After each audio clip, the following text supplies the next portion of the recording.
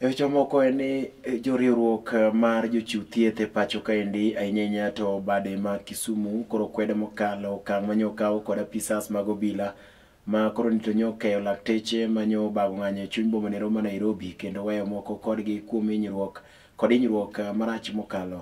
Maendi koro nito en lipot mane olosnwa kod jafwamb marwa Rogers Agunga.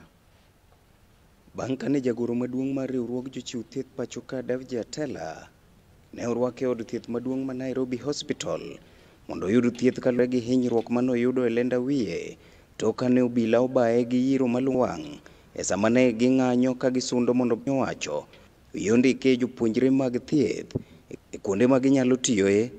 Riwruog jochiw thieth choka KMPDU Owuok oko kendo nyiso ich wang' margi ne obila kuom siko tiyo gi agoko e keyo jong'anyo pachoka kinde ka kinde.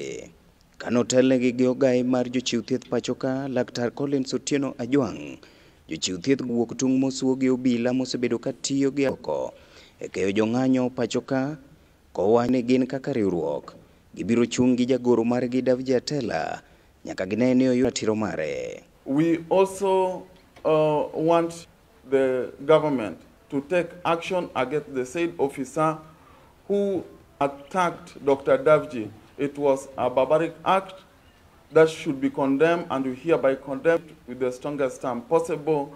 And we would like the government to do thorough investigation and arrest the officers so that he can face the full force of the law of law for uh, for injuring and putting the life of uh, health workers at risk.